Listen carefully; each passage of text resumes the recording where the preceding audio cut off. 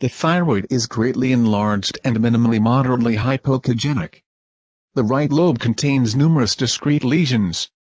There are multiple hyperechogenic nodules next to each other in the upper pole of the lobe.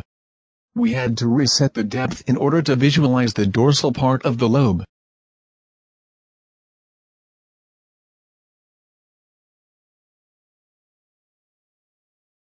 The left lobes is also moderately hypoechogenic, and contains several hyperechogenic lesions.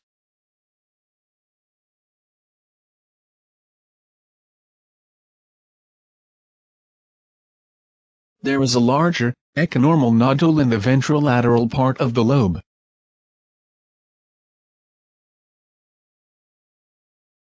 The presence of microcalcifications has only limited relevance in the event of an echonormal nodule.